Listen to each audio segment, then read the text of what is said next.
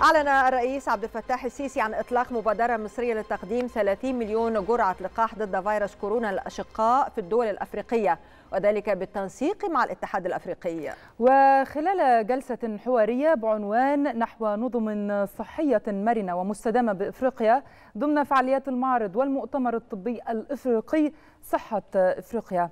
قال الرئيس السيسي إن القدرات المتواجدة في مصر متاحة للأشقاء مشيرا إلى أنه يكن تقديرا واحتراما إنسانيا لكل من يعاني ليس فقط بإفريقيا بل في كل دول العالم.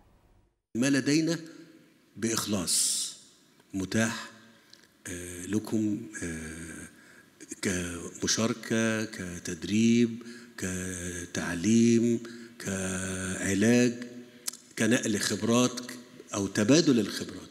إحنا مش مستعدين نعمل ده. وزيادة. في كل المجالات حتى في صناعة الدواء مع اللي هو اللي إحنا بنقول فيها إن في فرصة كبيرة ويمكن زملائنا اتكلموا عن موضوع تصنيع اللقاحات. وهنا اسمحوا لي إن أنا بتواضع.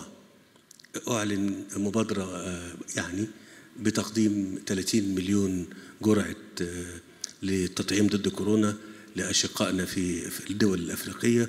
وأرجو إن ده يتم تنسيقه مع الاتحاد الإفريقي.